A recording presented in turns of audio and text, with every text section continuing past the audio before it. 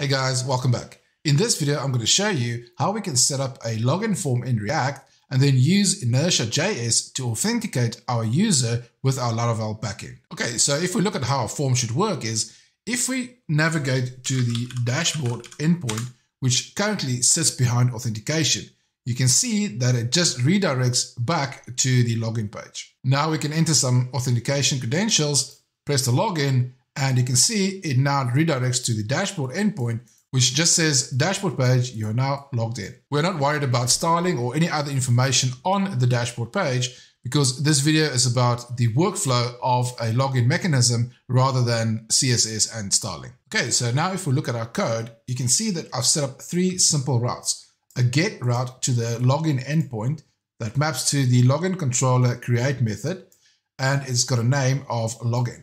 Now, this is the route that basically shows or tells Inertia to show the login form. Then we've got a post route to the same login endpoint, and that maps to the store method in the login controller.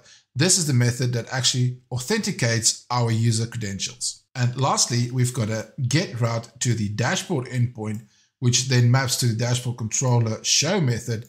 And this sits now behind the authentication.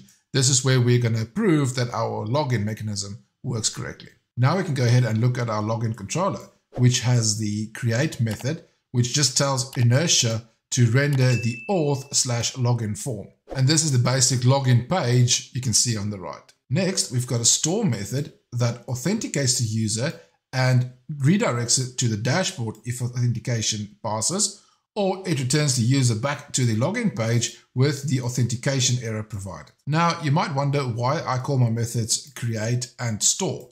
In the traditional sense of creating a model and you follow CRUD naming conventions, when you create a model, you use the create method in order to show the create form, and you use the store method in order to create or persist that model to the database. In our case, we're not creating a model, but we're creating a session. So we can follow the same naming convention by using the create method to show our login form and our store method in order to create that session. And that's it for the Laravel part of this login form. Let's move on to the React side. Okay, so to start off with the React side, I created a login.tsx file and I placed it inside the auth pages folder. Now, if you're unsure why I followed the structure, I'll leave a link in the description below where I explain how to set up pages in React using Inertia.js. Okay, so now if we look at our login page, you can see it's a simple React functional component. We have some form state, which is going to hold our email address and password. We have a handle change method that is hooked up to the input fields on the form, which is basically setting the state for our fields. Then we have a handle submit method, which basically handles the form submission and posting our username and password to our Laravel backend. Now, the last thing on this page is the use page hook.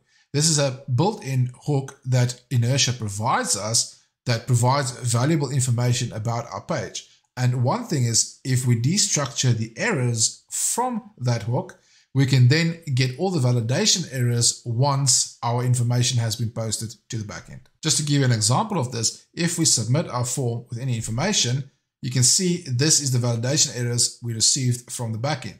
Now, if we scroll down into our form, you can see we can simply access this error by errors.email or we can access it errors.password. And if you look at the input field, you can see that we've hooked up the handle change method to the on change event on the input field.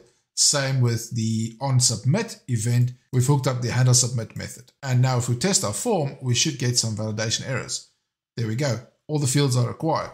So if we provide a field with a password that doesn't work, we should get another validation error. And lastly, let's provide some credentials that will actually work. So this should redirect us to our dashboard page.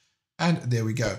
We are now logged in. And that is how you can create a React login form using Inertia.js and Laravel. Thank you so much for watching guys. See you in the next one.